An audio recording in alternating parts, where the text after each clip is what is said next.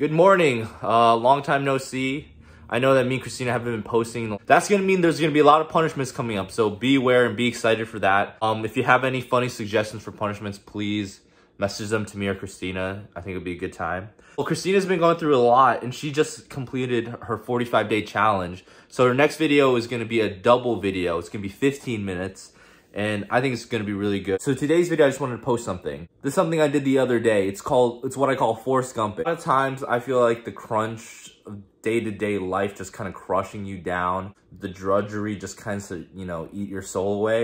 Is when every single thing you do goes from liking it to kind of having to do it to now you just have to do it and you don't want to do it. Every single thing you do is just checking something off your list, going to a class, getting your haircut, doing this, doing that you start to be less grateful for everything in your life. When I get into moments like that in my life, I just try to pare down everything to what do I want to do in the moment right now. There's this great quote from Oprah that said, if you don't know what you want to do, do nothing.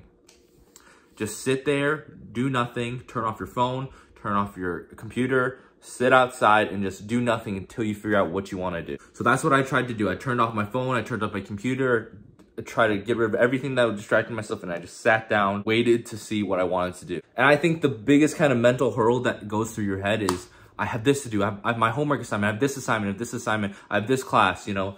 Your appointments start bundling up and you feel that pressure. And in that moment, you just have to accept, if it doesn't get done, it doesn't get done.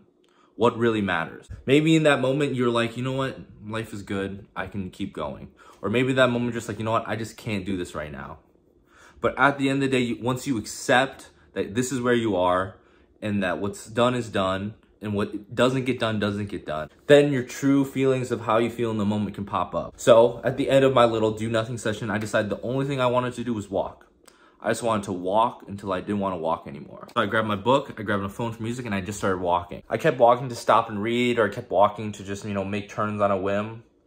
Or maybe I'll just walk by and see a grass field, lie down, or just walk into an empty building, walk into an empty building. Maybe on the grass field, I decide to do a cartwheel or a somersault or try to climb a tree. And you just keep walking and listening to music and jamming out and having a good time and just feeling free until I kind of felt like I had control again. Like I had the bearings under my, underneath my life. I just kept doing that until it felt like what I was doing was what I wanted to do and that I was happy to be alive and happy to be doing what I'm doing. It's probably not the smartest thing to miss class. It's probably not the smartest thing to push back assignments. And it's also probably not the smartest thing to just decide not to do homework unless I want to. I wouldn't trade getting all those things done for the feeling that I have, for the feeling that you have when the things you do in your life are the things you want. If you're feeling extremely burdened or burnt out, maybe be a little rebellious. Screw yourself over. Just let go. Just accept failure. Accept, accept whatever pressures you put on yourself.